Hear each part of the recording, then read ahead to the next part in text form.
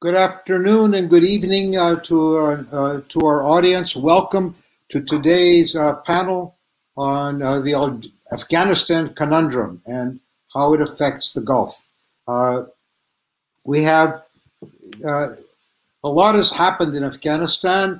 the Taliban have taken power once more in Kabul, which creates a new challenge for the Gulf states. Afghanistan and the uh, Gulf states have had a very intimate relationship, not always to the be- uh, to the benefit of either side, uh, for the last 40 years.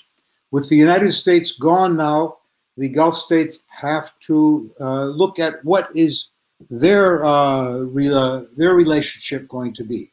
With the rise of radicals to power in Kabul, the debacle of the American adventure, concerns about the region's security, uh, and the spillover of instability into the Gulf region, uh, we uh, and evidence that the Taliban have not proven to anyone yet that they have broken ties with various jihadist organizations like Al Qaeda.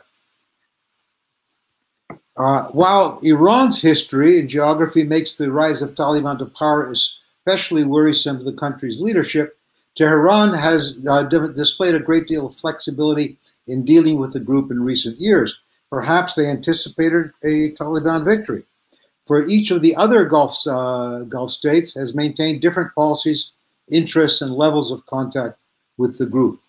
Doha hosted a Taliban representation office for over a decade based on the U.S. request to facilitate talks between Washington and the group.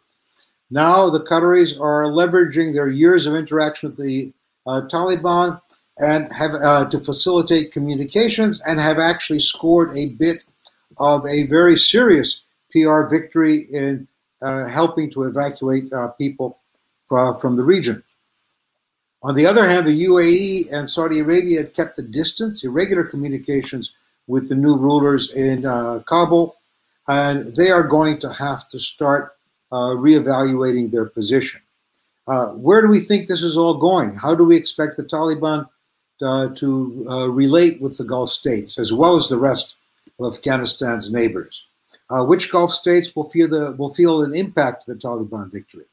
Which Gulf states will use Afghanistan as, or will they use Afghanistan as a battlefield for their rivalries, or will they cooperate?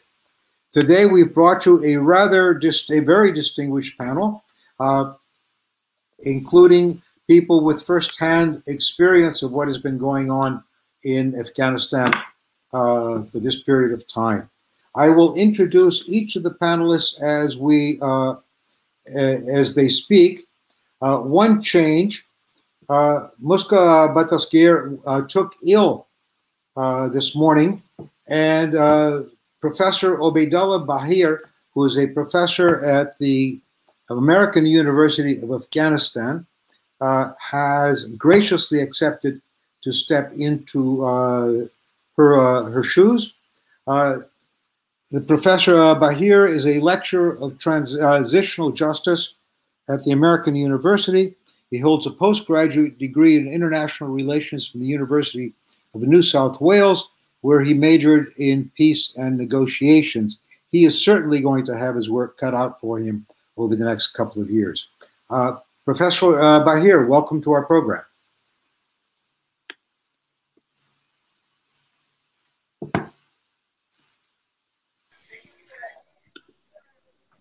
Hello? Thank you for having me. Do you want me to start? Please, yes. Okay, first off, disclaimer I'm definitely not wearing Muska's shoes. I'm wearing my own shoes. Um, that being said, um, little did I know when I was doing my own postgraduate research um, based on the structural and ideational factors hindering negotiations with the Taliban. Um, and when I was teaching transitional justice um, as to how quickly Afghanistan would change um, and how important the process of transition and reconciliation is going to become.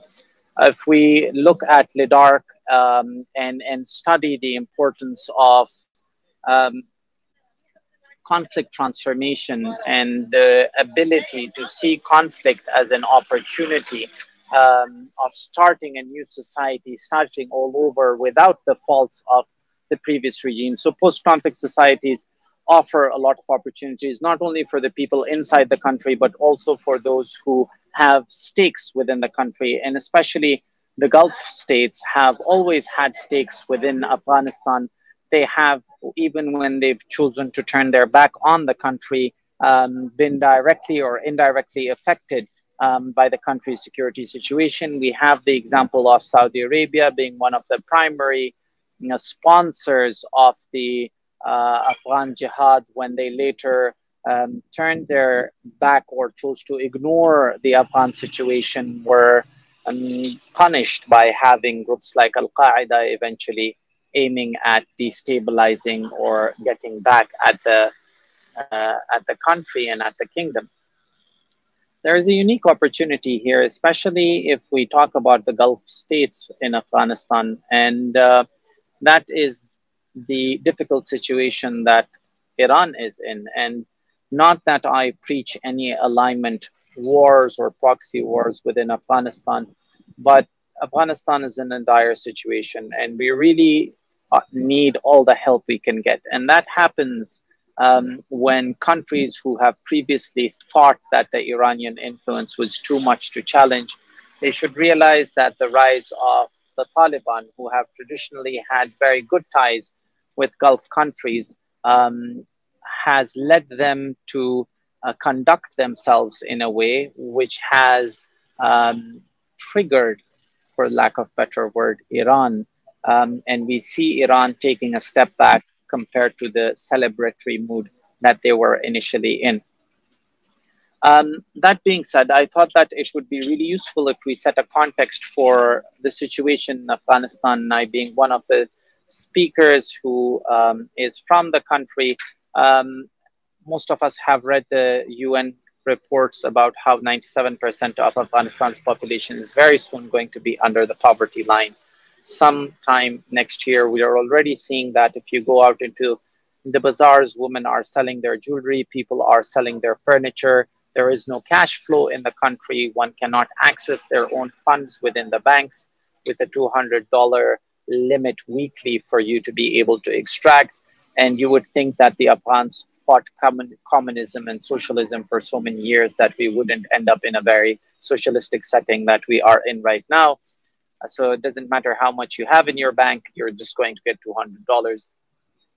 But beyond that, our, um, our issues do not end there. Um, the other major issues that Afghanistan is facing is the absence of governance skills and the whole approach that was conducted by the Taliban of dividing ministries and important government positions, technical positions, and which required technocrats were divided as spoils of war amongst the different uh, commanders of splinter cells that were fighting towards the cause of conquering Afghanistan for the Taliban. And the way the previous regime left uh, with its peak of corruption, it um, led to the fall or implosion of all the institutions, their disintegration. Now, we also have to remember that President Ashraf Ghani had created an extremely centralized form of government where development um, and other all major uh, um, aspects or work of the government was functions were being conducted by specific offices in the presidential palace. That meant that the institutional memory or all the base that was built within the ministries was taken away from them. Now, to restart with all of that, we would take some time.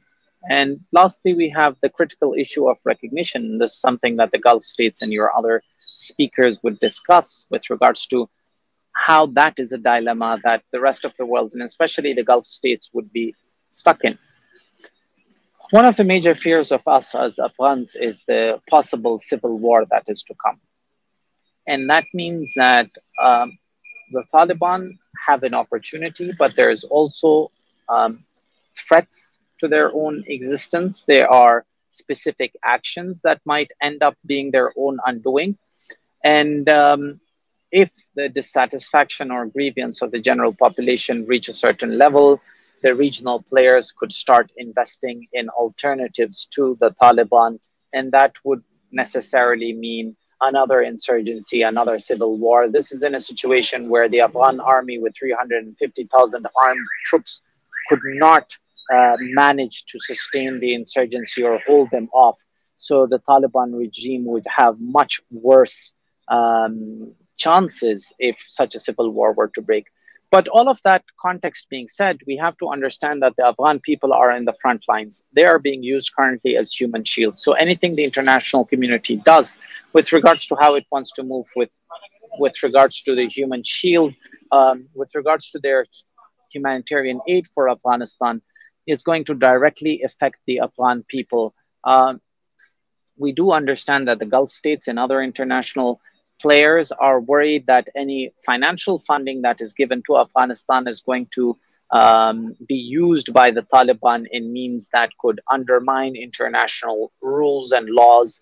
Um, that is where countries like Qatar, as the ambassador mentioned, can play the role of mediators.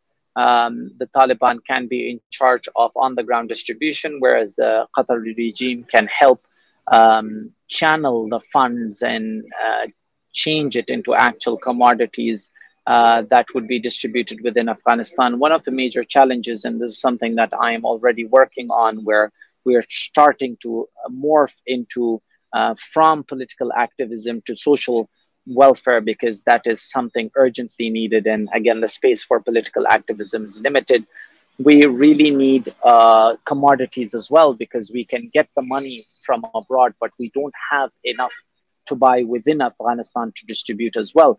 Um, so there has to be a channeling of goods. Um, and that responsibility should not solely lie on Qatar as well.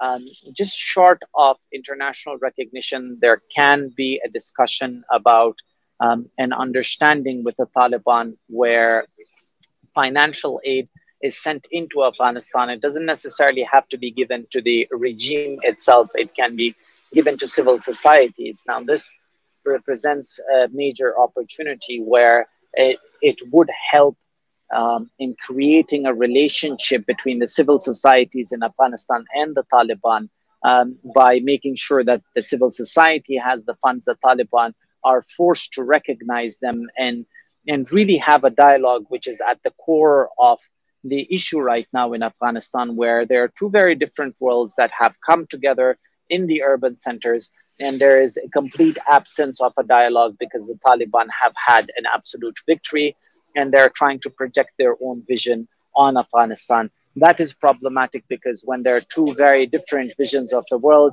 even if I accept the argument that the urban population is much lesser than the uh, rural population of Afghanistan, if any party tries to impose its vision or lifestyle on the rest of the country, even if a minority, it is not going to be a sustainable model.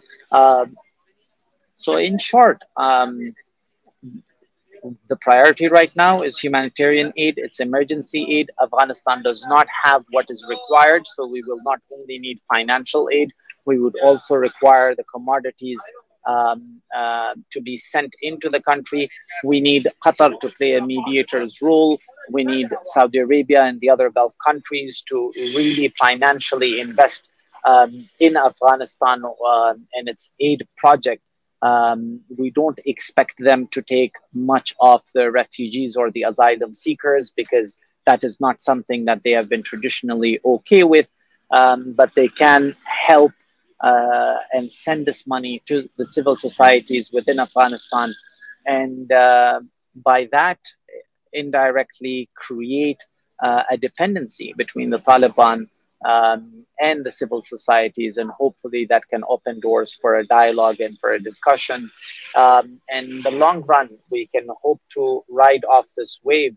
The Taliban are a reality. We can't shut our eyes. We can't bury our head in the sand um, and the sooner we get past the urgent crisis that is to come, um, the better for Afghanistan, the better for the region, because as you said, there's always going to be a spillover effect. So unless this vicious cycle of hunger and the absence of basic necessities and violence isn't ended in Afghanistan, it will keep haunting the region for decades to come. Thank you for having me that is certainly not a viewpoint that is going to be easy to sell in the United States and elsewhere in the Western world. but it, it sounds extremely realistic from my point of view. Uh, next, we have uh, uh, Samuel Ramani, uh, the uh, talking about the GCC states and perception of the uh, of the of the new regime in Kabul. I'm sorry, I'm having a problem here with my okay. Samuel is a tutor of politics, international relations at the University of Oxford. Received his uh, doctorate in March 2021. I'm going to have to start referring to you as Dr. Ramani. Geopolitical commentator, extensively uh, uh, published in foreign policy, American newspapers and magazines, and L monitors, uh, as well as a lot of international uh, uh, media. Samuel has briefed the NATO Intelligence Fusion Center and the U.S. Department of State on developments in Afghanistan. Uh, Samuel, please. Great. Yeah. Thank you so much, Ambassador Theros, for your kind introduction and for the excellent uh, previous presentation. So, I want to make a few brief remarks today about how the Gulf countries view the situation in Afghanistan.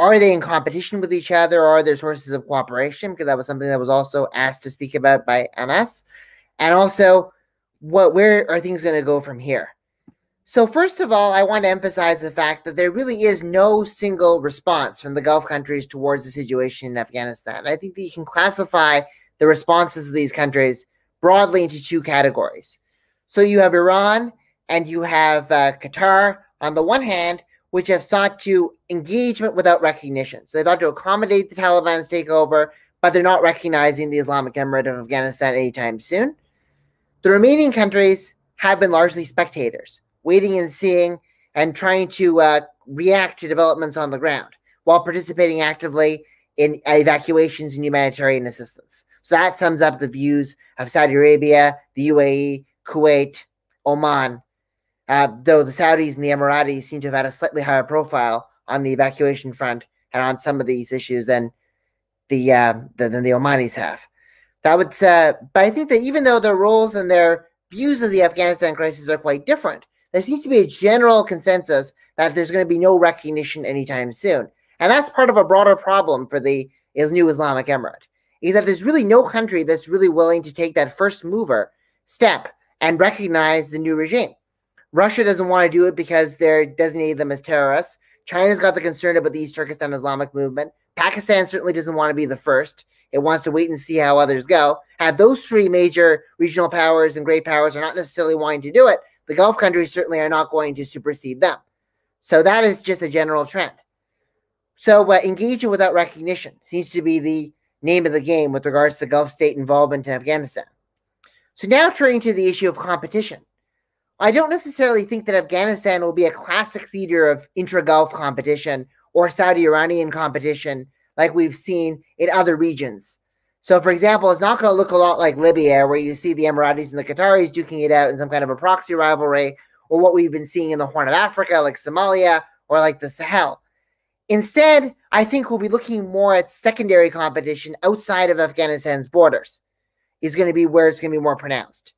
So, there's going to be a competition to some degree with regards to the supply of humanitarian aid and uh, assistance to towards Western policies.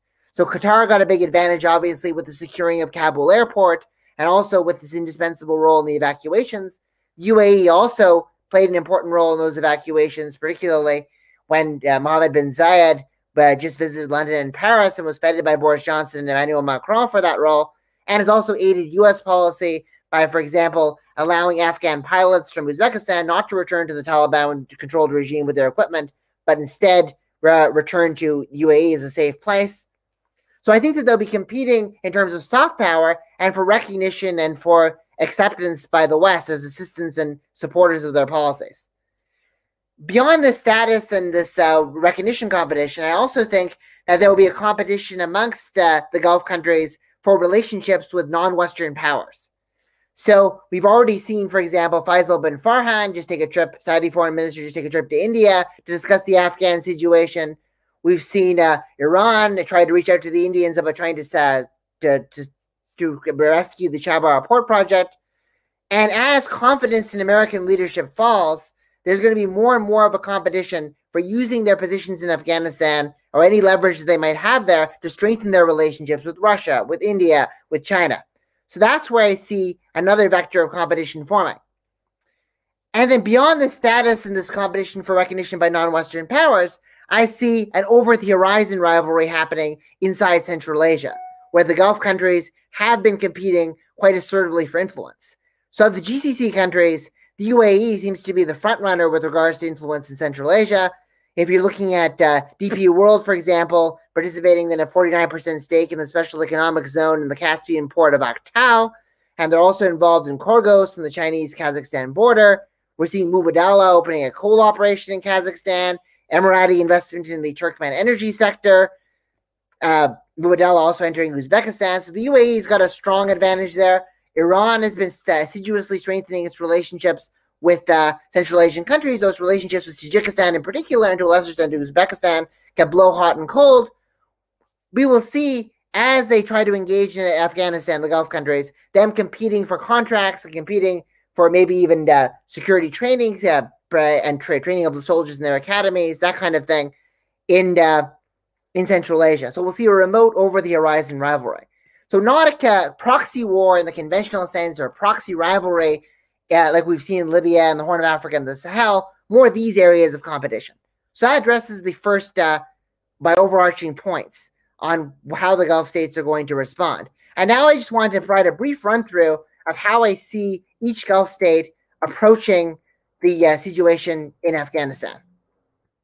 So, uh, with respect to uh, Iran, I would say that their position in Afghanistan has really got three different views within the foreign policy establishment over there.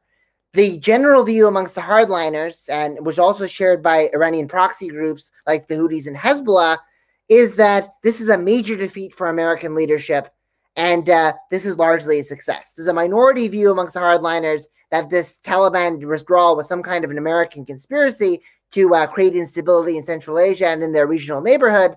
But for the most part, the hardliners are generally happier with this than the more moderate and reformist voices. Uh, we've even seen veiled criticisms of the inclusivity of the Taliban's uh, cabinet from uh, voices like former Foreign Minister Javad Zarif, the Iranians questioning Pakistan's involvement in the offensive on Panjshir Valley, so that's what I'm saying. So I think that Iran, the issue of the Taliban is a very polarizing issue within Iran.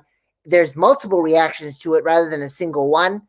And uh, that's uh, just generally how I see the situation unfolding over there. Obviously, the, this is a benefit for Iran in some ways in terms of their engagement with non Western powers. Iran is going to be joining the Shanghai Cooperation Organization. Russia has called for Iran to play a more assertive role in the extended Troika.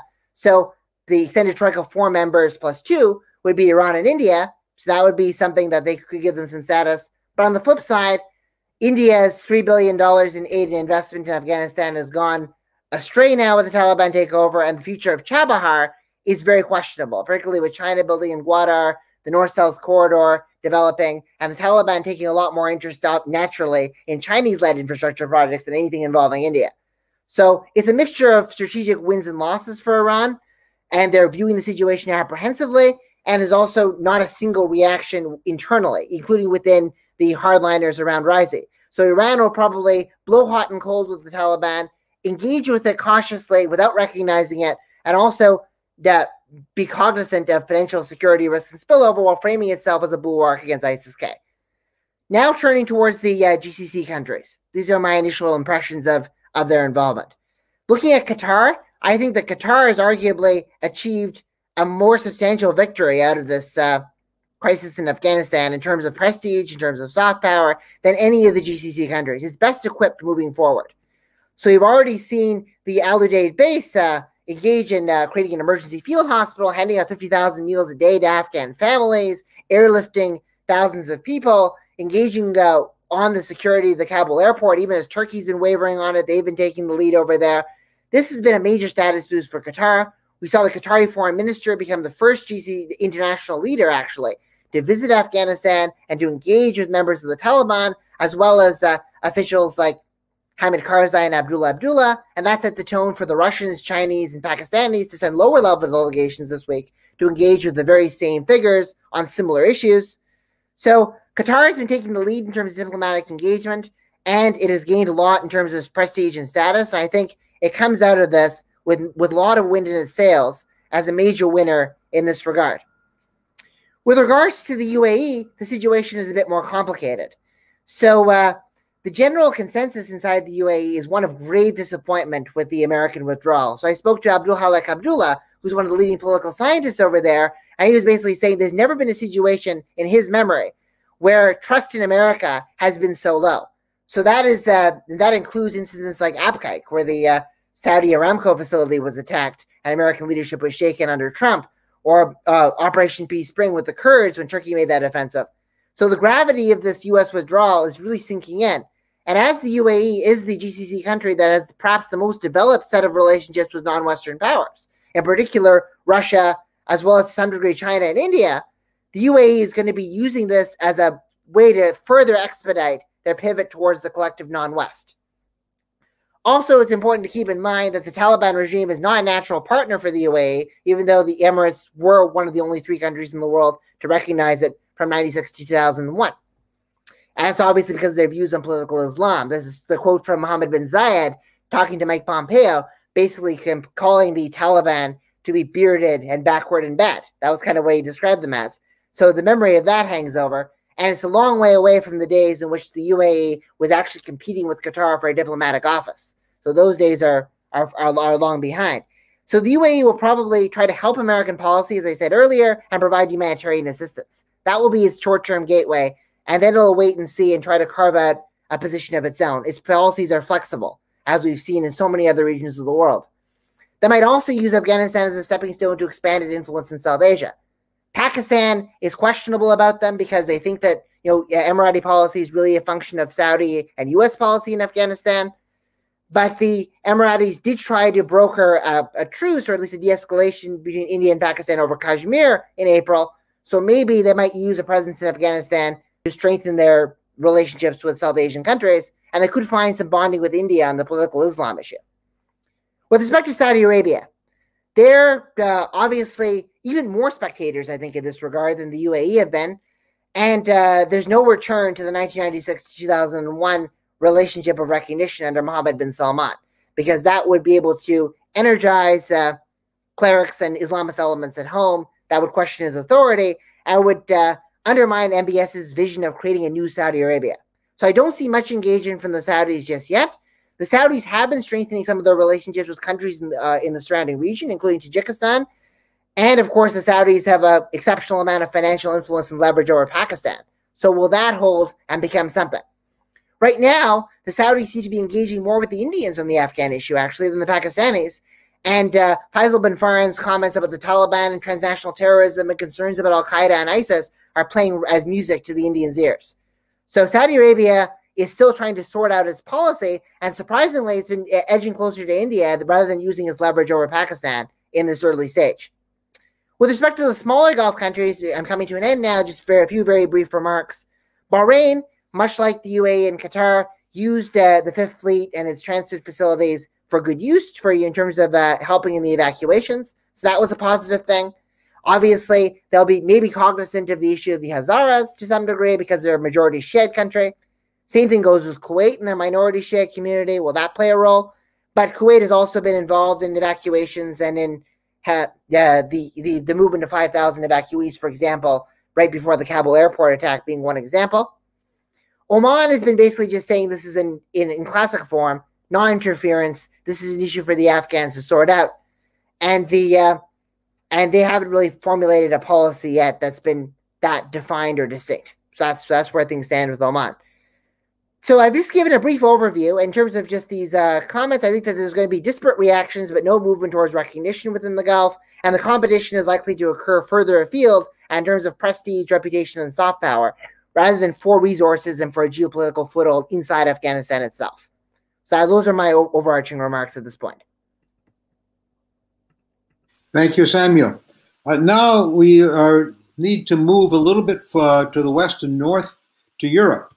Uh, the Dr. Iulia-Sabina Joja is uh, a senior fellow at uh, the Afghanistan Watch Project at the Middle East Institute and the Frontier Europe Initiative.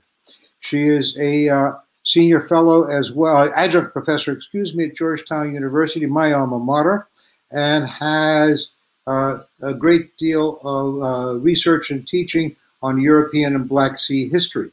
Uh, she served as an advisor to the Romanian president and is a uh, deputy project manager at the NATO Allied Command Transportation Transformation in uh, in in the United States. Uh, she will tell us, uh, hopefully, how Europe views uh, what has happened in Afghanistan, how Europe uh, sees particularly the role of the Gulf states, and what does Europe expect from them, and does Europe see any role for itself in the future in Afghanistan? Uh, uh, uh, Iulia, please. Thank you, Ambassador, and um, it's it's great to be here. Thank you for having me. Um, so, what I want to talk um, talk to all of you about um, a little bit is um, the background to the current policy that European powers are adopting or are about to adopt vis-a-vis Afghanistan. To your last question, Ambassador, I would say, um, and, and this is maybe the theme of it, um, that Europeans do not um, see um, themselves as having neither the means nor the political will to play an active role in Afghanistan. Um, but they have to find solutions to their own problems, um, and, and Afghanistan being one that is affecting and polarizing European powers to a great extent. So, really, there are um, three main dimensions of, of uh, Europe's policy vis-a-vis Afghanistan, and some of them um, have a direct impact on relations um, between EU member states and, and Gulf states. Um, so there's first the strategic um, element how europe is is placing itself um, between all these powers in the context of um, the taliban return to power in afghanistan. Then there's the political um, political issues around afghanistan and how europeans perceive um, their role there and then finally, and maybe most importantly, is the refugee policy of Europe. And that entails really two dimensions. Um, domestically, um, what Europeans want to do about um, Af Afghan asylum seekers, and externally in their relations with um, Gulf states and other, um, other uh, actors um, uh, relevant to Afghanistan. So, first, strategically, for Europe, um, the withdrawal from Afghanistan is perceived, and this is very important, as another failure of common European security and defense. Uh, Europeans have been trying for decades now to build a more robust military that can act independently of the United States, um, but um, they have not been able to do that so far. Specifically, um, the inability of Europeans to maintain airport security and organize evacuations of their own citizens um, without American support in Afghanistan has triggered new discussions at EU level, both politically and operationally as well. And then politically, the, the second element, um, the withdrawal from Afghanistan has currently rippling effects um, in European member states' policy. Uh, the Dutch foreign and defense ministers are maybe the most striking example um, both have resigned last week due to pressure, political pressure in their own country, and uh, failure to communicate and manage the withdrawal from the perspective of the Dutch. Um, in the UK, we've seen um, the foreign secretary being reshuffled. In Germany, there have been serious calls for the foreign minister to resign as well following Afghanistan withdrawal. Um, and then the EU Council President Charles Michel um, issued a letter with very harsh um, self critique um, and, and language for the failure of the EU overall and of its member states to ensure unassisted evacuations of both EU citizens and their Afghan colleagues on the ground. Furthermore, across European um, member states, there's now a lot of thinking going on in terms of the future of transatlantic relations, and this is important for Afghanistan too. Um, the Biden administration has shown um, Europe over the last few weeks um, that it is pivoting towards the Indo Pacific. Um, I think someone mentioned that a bit earlier too. And Europeans are looking at the next um, security challenges that include, beyond the withdrawal, possible new migration waves from Afghanistan and other regional, uh, regional challenges, such as um, north south migration, uh, or south north rather rather um, in in Russia on um, on their own continent. And then finally, the third element is refugee policy with the two dimensions of um, domestic asylum policy for Europeans um, and uh, the engagement of EU um, powers with partners to build what um, is known as kind of the concept of fortress Europe. Uh, Afghanistan more uh, imminently is uh, a reminder for um, a very flawed EU asylum policy for Europeans that has created so many political problems um, within Europe uh, since 2015 and the major migration wave back then. Um, and we're seeing this in several European offers of financial incentives to countries, including Pakistan, to manage possible migration flows on a bilateral level, first of all. Um, and a few weeks ago, the EU agreed on a common approach to working with the Taliban, consisting of um, putting human rights and security conditions um, uh, as conditions for engaging with the Taliban. Basically, European leaders decided that the EU has no choice but to engage with the Taliban, though this will not mean, they say, uh, uh, recognition though for the um, Taliban, this can mean increased legitimacy as well. Uh, EU foreign policy leader um, Borrell said um, five very high benchmarks for the new government in Afghanistan, um, and with very um, small chances of, of the Taliban respecting that to be able to um, start um, some kind of a financial engagement. The EU is setting up also, very importantly, a platform for cooperation with Afghanistan's neighbors. That includes Pakistan and Iran, as well as um, Uzbekistan, Tajikistan, Turkmenistan, and India. And the EU is um, uh, still trying to coordinate as we speak further evacuations through, through European countries' individual volunteer contributions, um, basically through an informal understanding with the Taliban. Um, and the EU is also putting up a fund for neighbors um, of up to 1 billion euros. Um, and finally, additionally um, to that, um, uh, in terms of the humanitarian uh, aid, um, the EU is, um, uh, the European Union is building up a fund or an aid package um, for Afghanistan that looks like it's going to be um, worth about $350 million. Um, and then um, there's the issue in terms of refugees of uh, domestic or resettlement clashes within Europe, with several member states of the European uh, the European Union arguing um, that uh, the EU should make concrete pledges on resettlement that would allow Afghans in need to legally migrate to the bloc. Um, but basically, this discussion is around whether paying for securing borders in Fortress Europe or whether the EU instead uh, should take on the responsibility of developing a program for Afghan refugees.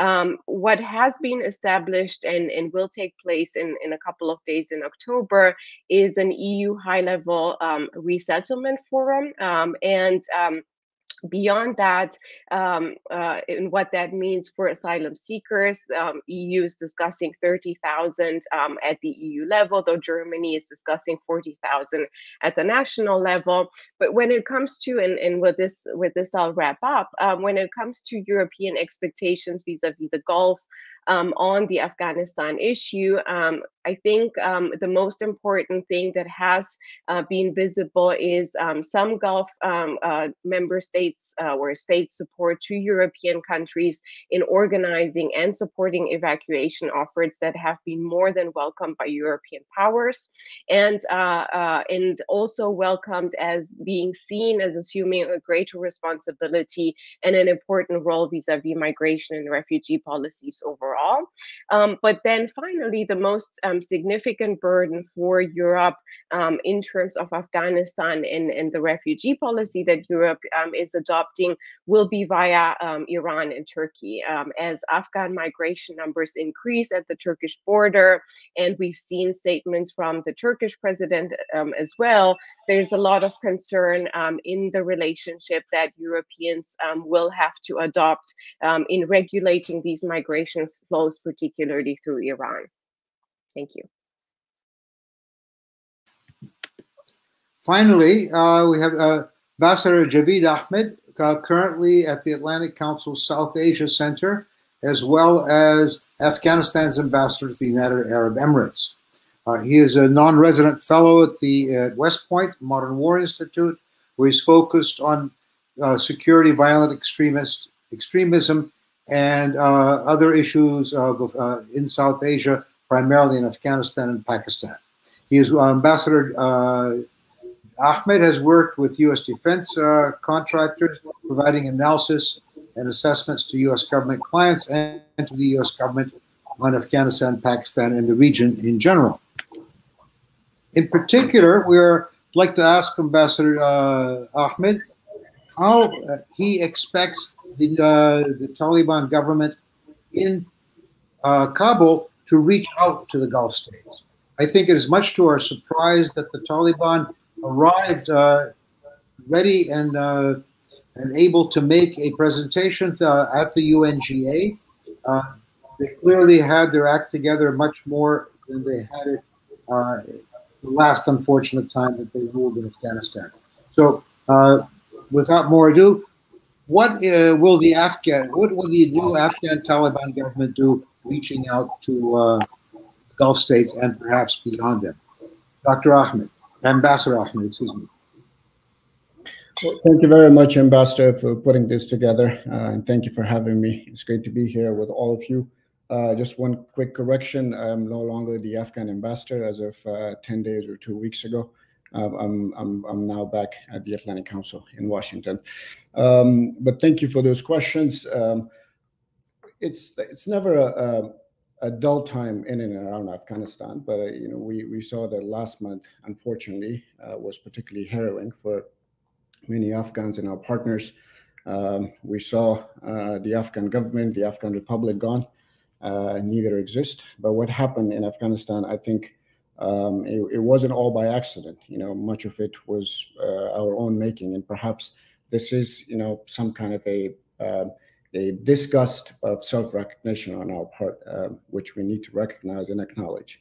Now, um, while the republic was not a perfect or a functioning umbrella, you know, it was it was far from it, uh, in fact, but it was also one that you know we thought that lived uh, that you know the, the world and our neighbors and um, our international partners can live with and work with.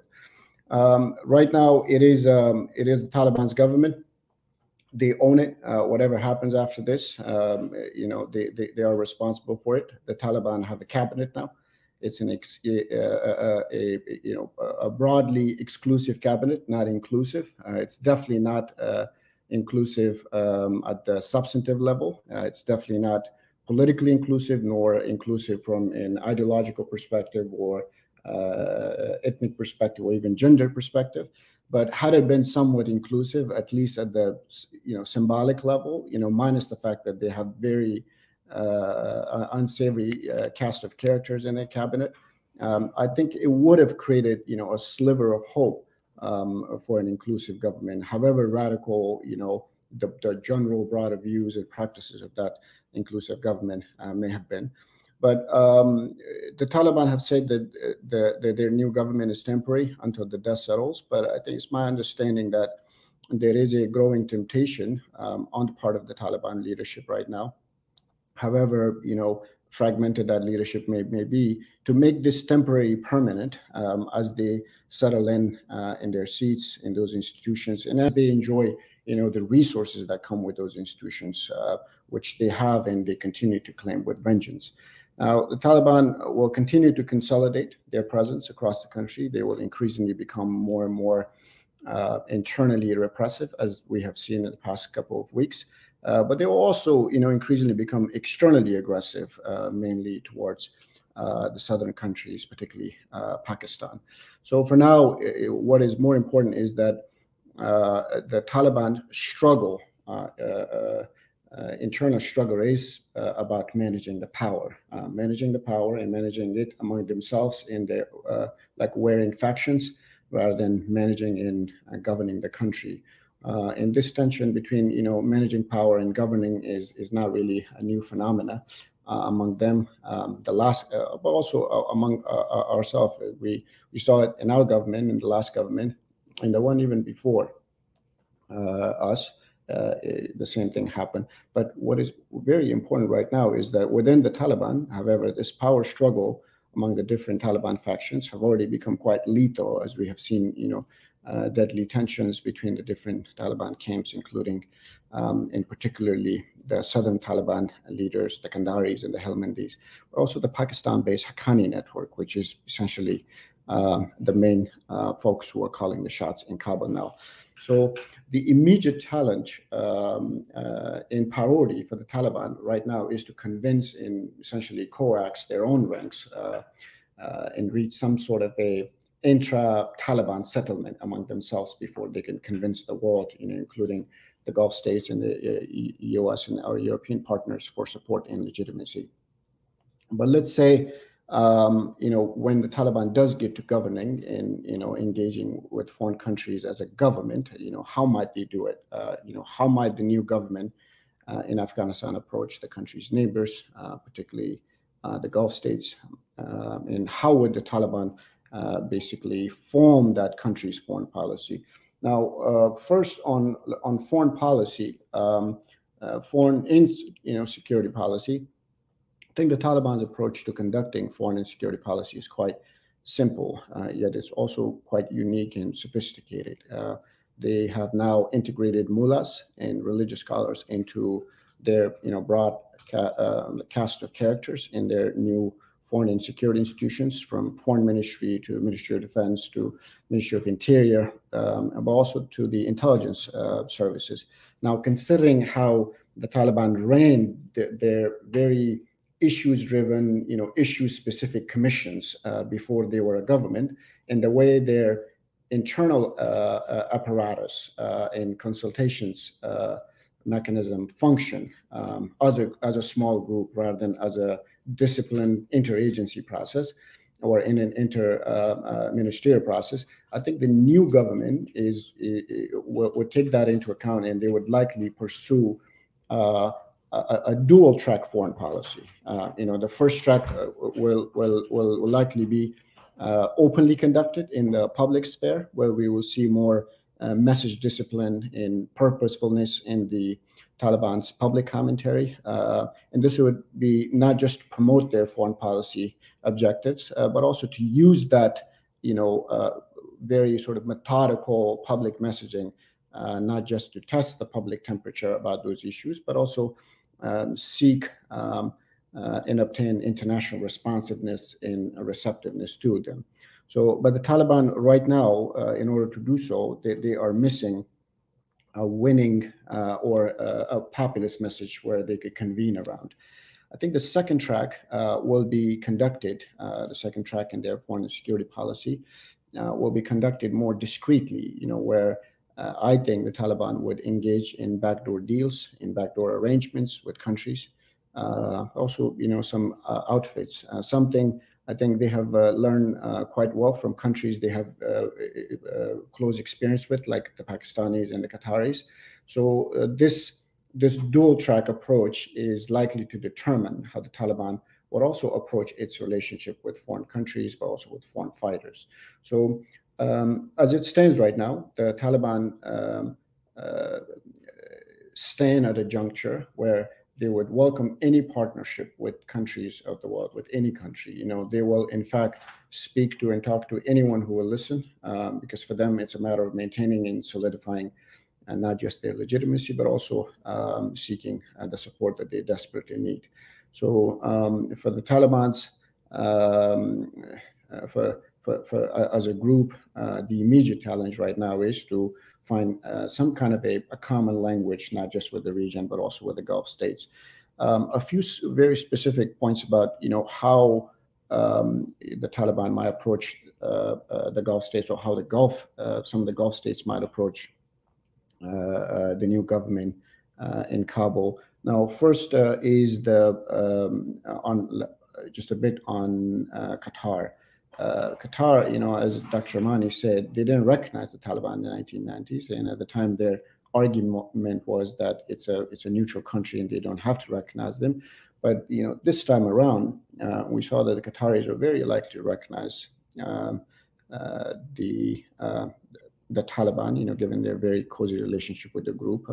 Uh, you know, over the years, the Qataris managed to cultivate a very strong, a very reliable partner in Taliban, um, and they have it now in the Taliban's Afghanistan. Uh, you know, Dr. Mani mentioned this. Not only did they host Taliban's political office all these years, uh, uh, you know, the, the the, the, the, Qataris flew Mullah Baradar in a Qatari Air Force plane to Afghanistan after the Taliban's takeover. So that relationship is that strongly codependent. So on its part, I think, and this is important, that Doha now has a very strong and reliable, you know, new Muslim Brotherhood type of a, a partner, uh, possibly one that's more ideologically attuned to the Qataris' ideology. Um, and, and, and maybe unlike the Muslim Brotherhood in Egypt, uh, this time around, this is also more powerful group and, and less vulnerable to any ex external aggressions or external machinations. So Qatar, I think in this case, uh, will play the big brother role um, in Afghanistan to the new Taliban uh, uh, government, in which I think they will play a very significant part in instilling the the, the, the, the Qatari version of that political Islam into the Taliban's Afghanistan. Um, and, and this would also determine how the Taliban would conduct uh, business.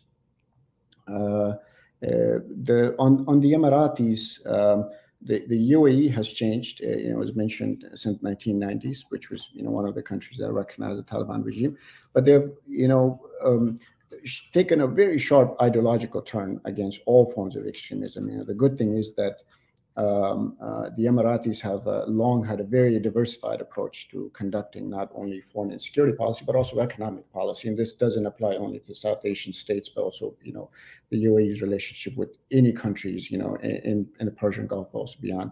And that's you know, a very key and competitive advantage. Um, the UAE has in the region. Now, the Afghan portfolio in the UAE is, is grouped in the national security category, and it falls under uh, the direct supervision of their national security advisor. So at the moment, um, uh, as it was mentioned, it's a it's a wait and see policy on the Emiratis part uh, with respect to Afghanistan, but they're also establishing a back channel of communication and a, a, kind of a more discreet cooperation mechanism with the Taliban without formally recognizing them, um, or at least for now. So the UAE has a, um, a very legitimate security concerns. Um, uh, they have they're home to remnants of the Taliban regime from the 90s, uh, including the Haqqanis. In fact, one of the Haqqanis' wives, the senior Haqqani, Jalaluddin Haqqani's wife, currently lives in in the UAE. Um, the um, so this new UAE or new emirate uh, uh, is also particularly against the Qatari and the Egyptian uh, version of political Islam which I mentioned, so which the Taliban are likely to adopt in their own governance approach. So um, Taliban leader, for example, Mullah Baradar, they used to have very long session with the with the Doha-based uh, uh, Muslim Brotherhood leader Qaradawi. Uh, the UAE didn't like it. Um, so um, and that's why you know I I feel um, it's my understanding that the UAE is uh, very unlikely to recognize the new Taliban government until after you know the United States does at least, or at least um, until after there is some kind of a prior understanding with Washington, because the Emiratis care very deeply uh, about their relationship with Washington. So for now, um, it's my understanding that the UAE will buy their security uh, from the Taliban. Um, they've already made a very earlier outreach to the Taliban. Um, and that outreach was made, I think, as early as August 17. That was practically two days after the collapse of the uh, the previous government, and they've already sent about um, you know seven or eight uh, humanitarian flights um, to Afghanistan. Very quickly on the like on the Saudis, um, I think the Saudis don't want to have anything to do with Afghanistan. They, they're very concerned about terrorism, of course, mainly uh, Al Qaeda reconstituting. Um, but there are also elements of um, Afghan diaspora community who, uh, in inside uh, Saudi Arabia, that hold some of those very sympathetic views towards the Taliban.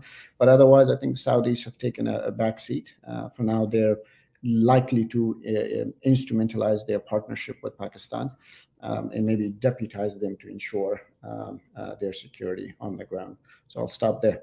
Thank you. Uh, you, uh, you all have given a really comprehensive uh, picture across the board of what uh, the current state of the relationship is between the Taliban, between Afghanistan and the Gulf states and other interested parties. Uh, before we turn to questions from the audience, I would like uh, an issue that has uh, actually a bit of great interest to me. Uh, the Taliban took over completely uh, the entire country. There was a functioning government with all its flaws across Afghanistan. Uh, have the Taliban tried to co-opt that government, to co-opt at least the pieces of the government, the various individual offices, or did they have a uh, uh, a plan of their own of how they would govern, of the structure of the government, more decentralized, less decentralized, uh, local authorities, what role they play? And I ask this question because uh, clearly the first question that has arisen in the West and in the Gulf is, as uh, Professor Baheer said at the beginning, Afghanistan faces a humanitarian disaster uh, that may rival humanitarian disaster in Yemen if aid does not come in in many ways. How do you actually, how do the aid donors actually believe that they can get aid into the country because just giving money is not a very good idea. Uh, you're going to have to move supplies.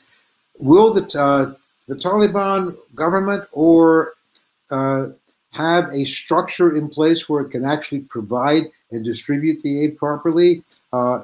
Uh, do the donors depend more on uh, uh civil society to do so? Uh, can civil society do it? So, what is the structure of government in uh, Afghanistan that would help the donors operate?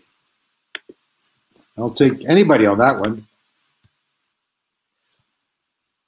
I think Professor Baheer dropped off. Uh, Ambassador? Yeah, yes, I can take that. Um, the, you know, as, as, as I mentioned earlier, um, the, the cast of characters that we, we see right now in, uh, in, in the Taliban's new uh, cabinet and their new government is quite exclusive to the Taliban. You know, there are at least 17 members of the Taliban uh, in the cabinet that are on some kind of a uh, blacklist or you know foreign sanction list, including the United States and the United Nations. So the cabinet they have right now, it's not quite inclusive. They have Siraj Haqqani, who is the head of the Afghanistan Ministry of Interior, responsible for the police system, and he is basically uh, the head of the Haqqani network. Uh, they have uh, the, the Taliban spiritual leader's son, Mullah Yaqub, uh, who is the Minister of Defense. Uh, in uh, you know one of those Taliban fives who were uh, released from Guantanamo um, in 2014 or 2015 is now the head of the Afghanistan intelligence services. one of their deputies is the one who was on on the uh, U.S.'s uh, long time basically target list. Uh, his name is Jawad. Um, so, you know, as we look at, uh, you know, the Taliban's cabinet right now, it's definitely not, you know, inclusive. You know, as I mentioned, definitely not a substantive level. It's not gender inclusive or ideologically inclusive uh, to ensure that, you know, that they could accommodate uh, some opposing views, including from you know technocrats or people who serve in the previous governments uh, or even gender inclusive you know to include people uh, from you know another gender so um, so had it been somewhat inclusive, at least, you know, symbolically, uh, uh, despite all these people that are in the cabinet, I think it, it, there would have been a bit of a hope um, for um, for for like for governance and for engagements, uh, like without recognition, as it was mentioned by Dr. Ramani. Um, so for now, uh, unfortunately, uh, they are busy with you know managing the power because the, the friction fight, the, the, the, the friction and the infighting within the within the group has you know really increased. It's it's also quite real, but it's also lethal and it kind of carries. It doesn't bode well for for the Taliban or for their new government. I'm not sure. Um, they, they, have kept the, the, the larger edifice of the previous government as a structure. Uh, it's also quite uh, centralized, highly centralized, as it was in, in, the previous government. So none of those things have changed. Um, I believe uh, they will, um, you know, since they used to rule through commissions, specific commission, commission for financial uh, services, for intelligence, for security, for military, for culture. They will now basically um, transition all of those to certain ministries, but they, they, they've taken certain actions to uh, merge some of those entities that were um, created uh, as duplicate entities, um, which I think is good, but uh, it all depends on how uh, they're going to uh, govern and whether or not they will be able to convene a team, a proper team, um, an economic team, for example, um, to see if they could uh, render those uh, very basic services. Um, I'm not sure civil society is the um, at this point a solution because civil society isn't a government. Um, it's also uh, civil society in Afghanistan also not quite vibrant. A lot of those NGOs and organizations have since left. Uh, they've evacuated. Those operations are even suspended temporarily or, or they're put on hold. So, uh, in many cases in the past, uh, government, maybe this is a you know that sort of uh, uh, disgust of uh, self-recognition that civil society was not quite civil in many respects as well. So, until that you know, uh, the civil society reinvents itself and the Taliban allows them to operate, um, uh, it, it is the Taliban and their government's responsibility to uh, provide services. Having said that, uh, that's a rather bleak picture. Uh, Afghanistan does face within a few weeks or a few months a major humanitarian problem.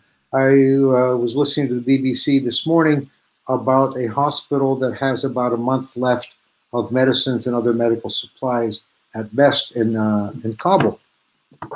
Uh, if uh, the situation deteriorates, uh, I mean, clearly, uh, no one, no one either in the Gulf or in Europe or anyplace else is going to give money. I think in the United States there is no appetite at all uh, for any official support to the Taliban. Is there any appetite either in the Gulf or in Europe to try and push the Taliban into uh, organizing themselves, into allowing uh, international aid organizations to come in? Or would do you think the preference, particularly in, in the Gulf, but even in Europe, would be to let the Taliban stew in their own mess first uh, before they try to push anything?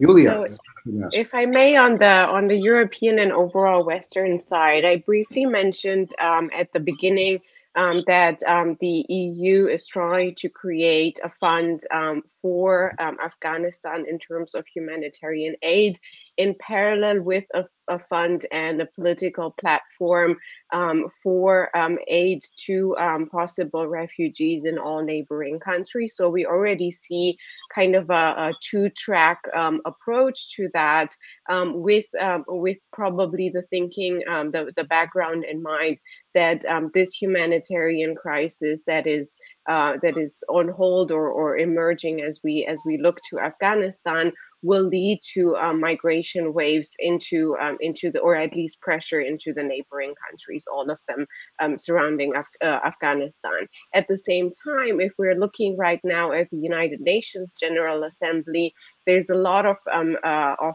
uh, movement from the whole international community um, to establish some kind of a of an aid um, of an aid uh, package uh, for Afghanistan in terms of humanitarian aid, and we've seen um, Western countries already stepping up, as well as some some Gulf countries in um, in providing or, or pledging some of the aid. The question, indeed, um, Ambassador, is how um, will this be um, be transferred, um, or how how are Western countries and other international players um, thinking of transferring this aid so that it gets to the Afghan people and uh, not does not end up in, in the hands of the government of the Taliban government. And I think um, if we are to look um, just at the EU and EU member states, they have a strong preference um, to uh, uh, for international uh, aid uh, NGOs.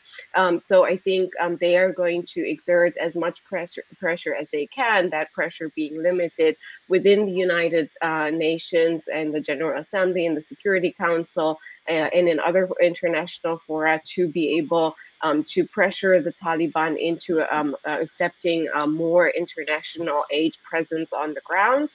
And then, as a second option, um, they are considering, as we've already seen through bilateral deals um, and possibly even an EU deal with um, with uh, other international players, where, whether we're looking at um, Afghanistan's neighbors or particularly at Gulf um, states such as Qatar, as um, as being the, the mediator for for a solution that can ensure uh, international humanitarian assistance directly to the Afghan people. Samuel, could I ask you the same question uh, for the Gulf states?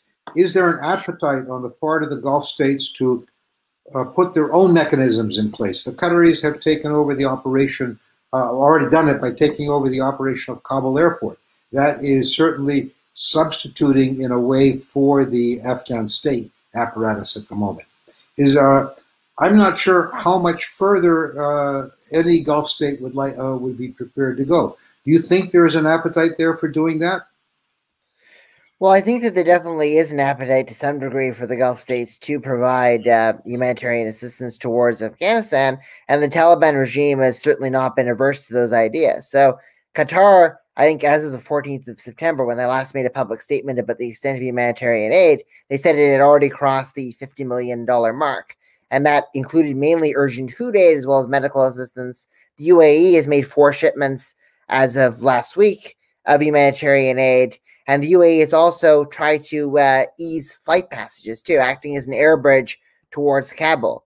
So there, there are ways already in which the Gulf states have tried to allow aid to enter Afghanistan, and the Taliban regime has been on board with them. Now, when you actually look at Taliban aligned social media accounts, uh, which I've been following quite closely, and I've been doing some interviews with figures on all sides of the spectrum within Afghanistan, you get a feeling that the Taliban is willing to pretty much uh, take money from wherever they can get it. Even when Britain came through with a 286 million pounds in terms of aid, when Boris Johnson reversed the aid cuts, there were uh, people on those Taliban social media accounts who were saying we shouldn't be accepting uh, aid from uh, Western countries, but others were saying this is a positive step. So I think that there will be a great deal of pragmatism with regards to that urgent food and humanitarian aid coming in from the Taliban side, and the Gulf countries will probably try to prop it up in the short term. Another thing to watch with regards to the Gulf involvement in humanitarian aid is that Saudi Arabia has been relatively uh, detached here. It just seems to be more of a Qatar UAE effort. And a second more important point is actually in relation to Iran and the Afghanistan border. So for three weeks after the Taliban takeover of Afghanistan, from August 15th until like the end of the first week of September, there really was a suspension of Iranian Afghan border trade. And that's always been an important lifeline for both sides, right? Because for the Iranians, the Afghan side gave them US dollars. And also, there's a lot of towns and cities and merchants who kind of straddle those two boundaries historically, which is why Afghanistan got sanctions waivers from, from the United States on Iran, or at least try to get them repeatedly in the in, in the past.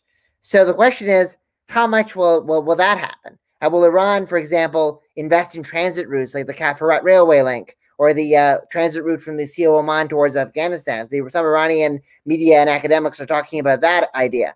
Or will Iran try to piggyback off of uh, existing connectivity projects in the region? It's not part of TAPI. It's not really, but it is part of the North-South corridor. Could that play a role in uh, in facilitating aid and development in Afghanistan?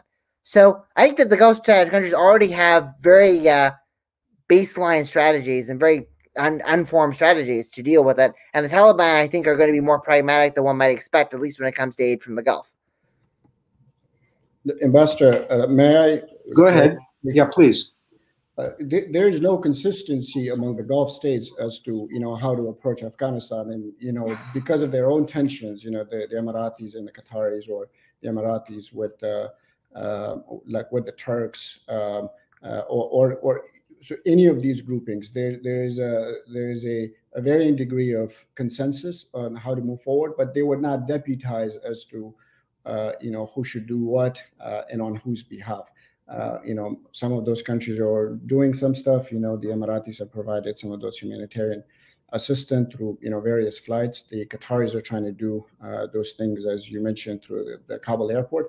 Uh, now, the the humanitarian assistance so far that's been provided by some of those countries in the Gulf. Uh, it's only pledged. It's it's uh, some some some are you know provided. That's fine. It's helpful, but it's also insignificant because you cannot run a government, you cannot run a country, you know, by humanitarian assistance. You know, much of the humanitarian assistance that's been provided or pledged at least uh, is also political. Um, so in the medium to longer term, humanitarian assistance is not the solution because you know think about it. The the the uh, uh Afghanistan's U.S. Uh, and European partners uh, spent some eight or nine billion dollars in Afghanistan's last year. You know in different sectors. So if you translate that into humanitarian assistance, that would mean you know the world you know spent some uh, you know, uh, over $300 million in humanitarian assistance in Afghanistan every day. So uh, and still, there was drought, there was unemployment, there was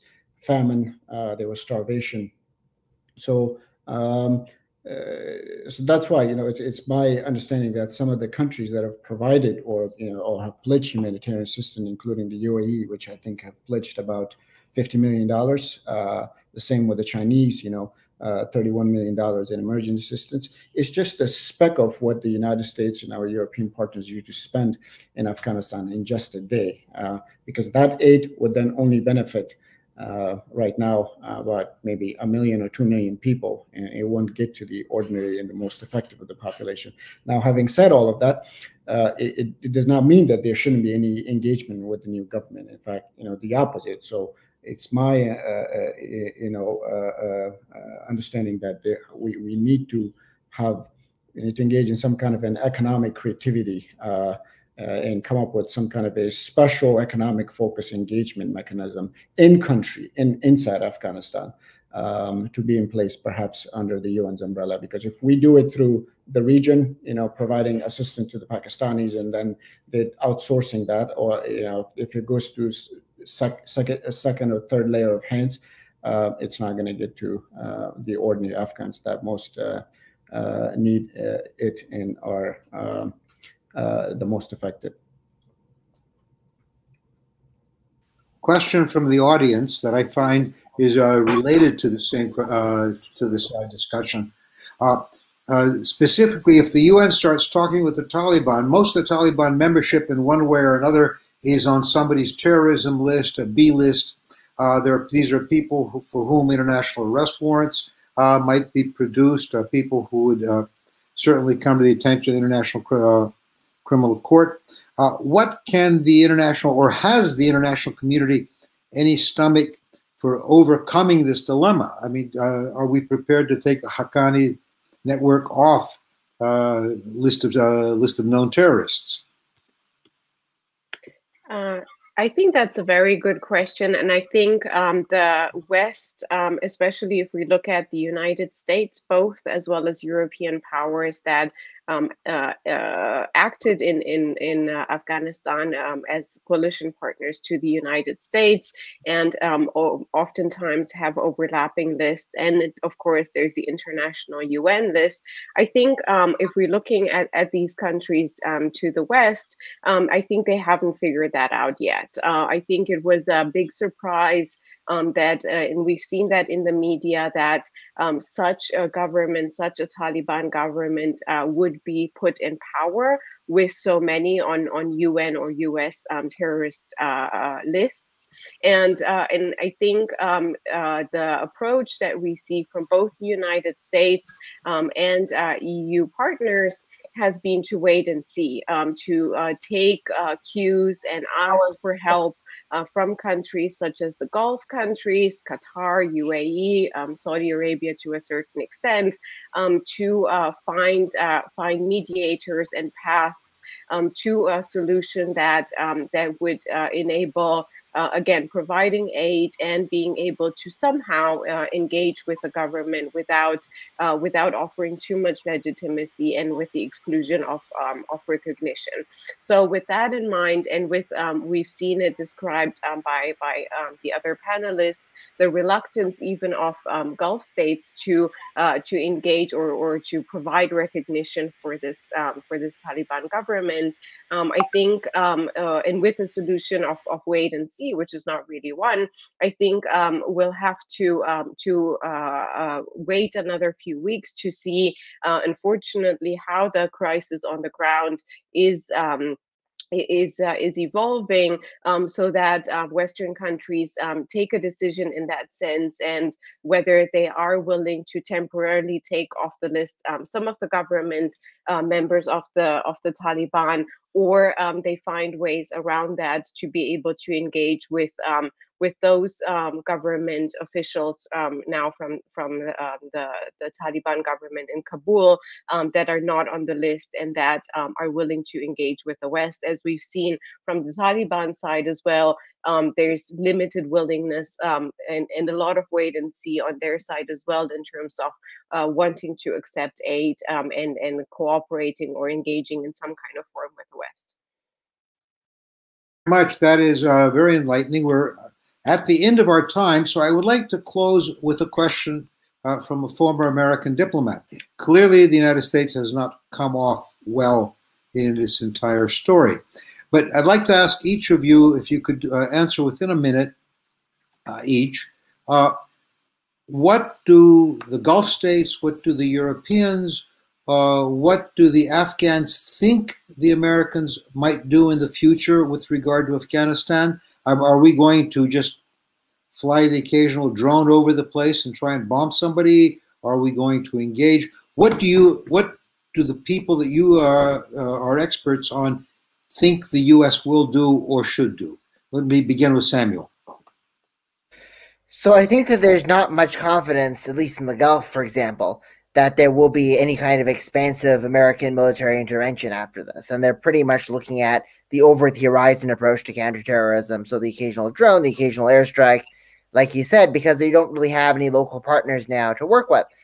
But within the U.S. government, there be, there could become a question, obviously, about transnational terrorism. You have Mark Milley making the statement that you know the Taliban can fight ISIS. That seems to be an isolated point of view. But the over the horizon of the approach is getting some intense pushback from Republicans, including McConnell, as well as Democrats, saying that it just doesn't go far enough. So the internal jockey in the U.S., I think, more than any kind of external pressure, will probably encourage the U.S. to do more militarily. I think that the Europeans were hoping, obviously, for a much more multilateral approach to the exit, like everybody leaving together. That's what Biden was saying on the April 14th speech. That didn't pan out. So there is talk actually amongst the on the European side, including from Britain, with Ben Wallace saying that Britain might launch air, airstrikes or strikes on, on Taliban uh, back terrorist targets if, if they emerge. So what I think we'll see is like a over the horizon approach from the Americans and probably unilateral responses from the Europeans and the Gulf. The Gulf to advance their economic interests, the Europeans largely to combat immediate security threats, and not really any kind of coordinated strategy. Uh, Julia, uh, Samuel half answered the question for you, but if you could uh, sort of address it. Yes, um, uh, but I do think that uh, that uh, Sam um, is right in, in everything um, he's saying, and um, I think what I can add to that is, um, as I was trying to explain at the beginning, we see in Europe um, kind of uh, a process of acknowledging failure and trying to come up with solutions for Europeans as well as for Afghanistan. Even that, even though that in Europe by default, with the system, uh, the decision making system is always very slow uh, and incremental. Um, but but there is, um, and we see that over the last few um, days, if not the last uh, week, we see a difference in approach between Europeans and Americans. In that um, Europeans are resigning. There's a lot of political pressure. Whether, um, whereas in the United States, we have not seen. We've seen in the early days a lot of pressure from, um, especially the uh, the journalist side and from the opposition, but uh, from the Republicans. But it has sort of uh, uh, the news cycle is already moving on, unfortunately. And I think from the other thing that, um, and, and I think this is clear for Europeans as well. Um, so um, they're trying to find their own ways of um, of addressing both security threats and then uh, in the long term um, economic issues as well with their own problems at home. The other thing that I think Europeans individually are looking at um, and and would be in addition to what Samuel said is um, that uh, we've seen the United States um, looking over the last few years and now increasingly for uh, military bases from a strategic point of view that are closer to Afghanistan, with the United States losing its last base in, in Central Asia, and was it 2014 or so?